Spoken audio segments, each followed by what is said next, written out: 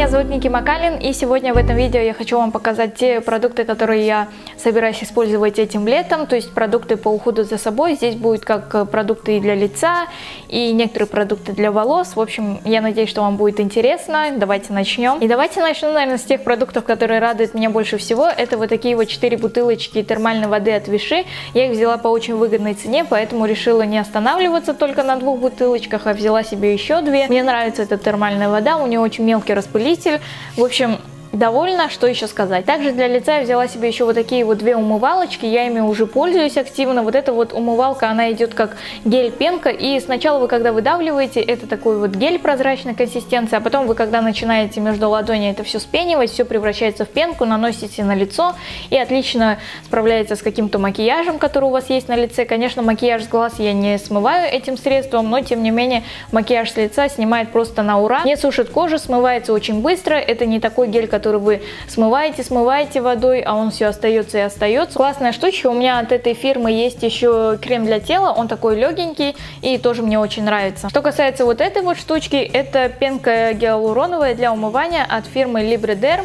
И это такая, знаете, ну просто обычная пенка для умывания, но что мне понравилось, это то, что когда вы умываетесь ею, такое ощущение, как будто у вас кожа сразу становится увлажненная, и она какая-то полукремовая пенка, в общем, такая густая, нежели чем а, от La Roche-Posay, которой я пользовалась. В общем, тоже она мне понравилась. Именно подобные пенки сейчас мне подходят больше всего, и также Серж тоже пользуется подобными пенками, потому что я ему говорю, что после рабочего дня все равно нужно смывать себе вот эту вот грязь лица, а не просто там умываться либо мылом, либо просто водой. Следующее, что я взяла на лето, это, конечно же, спрей для загара от э, La Roche-Posay, и он подходит абсолютно для всех, и для мужчин, и для женщин, в принципе, и для детей. И у меня это SPF 30. В общем, чем мне понравилась эта штучка, что вы просто распрыскиваете это на тело, и вам не нужно не размазывать, к вам не будет липнуть песок. Классная, удобная штучка, по отзывам довольно неплохая. Я, конечно, еще не пробовала ее в деле, но надеюсь, что она меня не разочарует. Масло для волос от фирмы Matrix, в общем, как-то так. Это масло для волос я взяла на замену своему маслу. Вообще, мое масло от Gliscour закончилось достаточно давно, и я решила подождать, сделать какой-то такой перерыв, и просто делала какие-то маски себе на волосы, то есть не использовала никакое масло, в принципе, на кончике.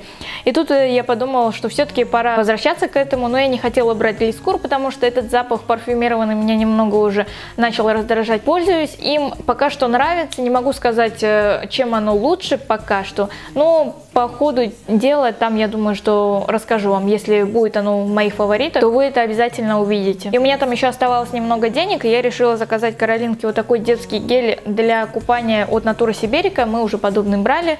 Прикольный гель, можно будет с ног до головы им искупаться. И также вот такие детские салфетки очищающие. Ну, салфетки, сами понимаете, лишними никогда не бывает. Ну что ж, это были все средства, которые я буду использовать этим летом. Эти средства я заказывала на сайте Фармакосметика подписчиков. Все ссылки на эти продукты вы найдете внизу в инфобоксе, так что обязательно заглядывайте туда. Подписывайтесь на мой канал, если вы еще не подписаны. Подписывайтесь на мой инстаграм, мне будет очень приятно. И увидимся с вами уже в следующем видео. Пока!